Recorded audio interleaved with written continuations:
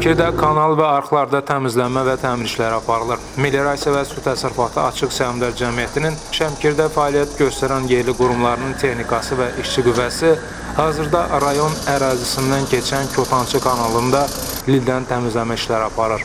Ümumi uzunluğu 25 kilometr olan kanal Seyfəli kəndində yerləşən 1000 hektara yaxın əkin sahəsinə xidmət göstərir. Əkin sahələrinə suyun az gəlməsindən və bu baxımdan da əkin sahələrinin suvarılmasından əziyyət çəkən sakinlər görülən işlərdən razı qaldıqlarını bildiriblər. Seyfəli kəndi elə gözəl yerdə yerləşib ki, məhsuldarlığımız var, əkinçilik, təsərrüfatımız çox yaxşı inkişaf eləyir.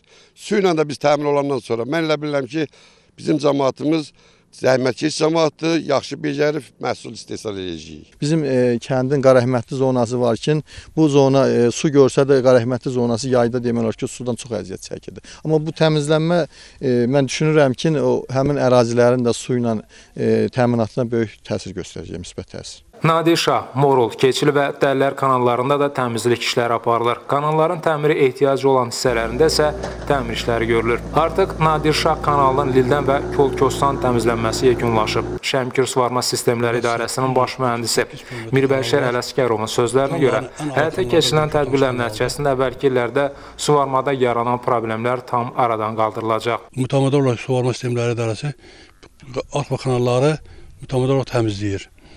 E, Suvarma Sistemləri İdarəsinin balansında 898 kilometr kanal var. O kanalların ən ağır kanallardan biri Kötancı kanalıdır.